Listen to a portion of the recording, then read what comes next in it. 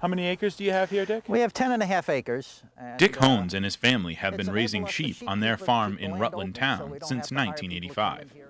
The sheep help keep the land open, but there is one problem.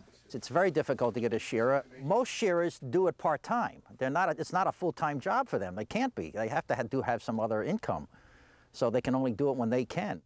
As for the do it yourself approach, well, when it comes to shearing sheep, that's easier said than done. I tried it once. I even bought some electric shearers, and I tried it, and it took me two hours to do one ram. And I said, and with four people helping me, and I said, that's it. I says, no, I got to get somebody else to do this. Enter Jim McCrae. You really need to like to do this if you really want to do it. According to the United States Department of Agriculture, there are 10,000 sheep in Vermont, but only 10 professional shearers.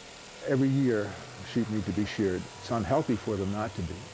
And uh, so there is a tremendous need for shearers. Uh, there's obviously less sheep in Vermont than there was, uh, you know, 140 years ago. Um, but there is uh, there are a lot of hobby flocks and uh, a lot of opportunities for people uh, to raise sheep in Vermont. A lot of uh, open open land that needs to be kept open. And so um, there is a need. Like Holmes, the need to find a shearer is what impelled McCrae to give it a go in the first place. The saying, necessity is the mother of invention, obviously didn't come from someone trying to shear sheep. Oh my, yeah, I had plenty of problems. I vividly remember shearing, I think my first sheep took me about 40 minutes to shear. And she came out in one piece, and I was pleased. Um, but I said, there's got to be a better way than this. McCrae's search for a better way brought him to the University of Vermont Extension's sheep shearing school, held annually by Extension livestock specialist Chet Parsons. Chet's done an excellent job through the years of getting local shearers to come and, and to help. And uh, it's a sort of a low-key, fun approach to things, and, uh, and I think that really helps. Uh, you, you know, you could have a commercial operation, I suppose, uh, but really, you, uh, Extension, this is part of Extension's, I, uh, I, I believe, it's part of Extension's focus and, and part of their job, and I think this is like one of the, I think, really best things that U Extension does, UVM Extension does for the sheep industry. Despite the efforts of those involved in the shearing school, the lack of trained shearers is not unique to Vermont. Worldwide, the sheep industry is experiencing a shortage of professional shearers as well. Like many professions that were tied to agriculture and thrived a century ago, sheep shearing is becoming a lost art. It's one thing to learn the pattern and to learn how to hold a sheep with your with your body and your and, and, and the right pressure points using your feet and, and whatnot. But then uh, to make it uh, almost a beautiful thing, uh, you know, to be constantly moving. Uh, one thing you learn about sheep shearing is if you're fighting the sheep, you're going to lose the battle. So you have to hold the sheep and be able to uh, move her along and shear without stressing her too much and without having too much of a battle. I can sit a ewe down and, and start to shear and uh, um, I, I concentrate on, on uh, making each stroke maybe a little bit better or doing a little, something a little bit different and I think it's really rewarding to me. Now that's, I'd be a liar if I said it's always that way, but that's what I shoot for and that's really why I enjoy it. In his effort to preserve this art form, McCrae has taken on two apprentices, Elizabeth Willis and Tom Bilodeau.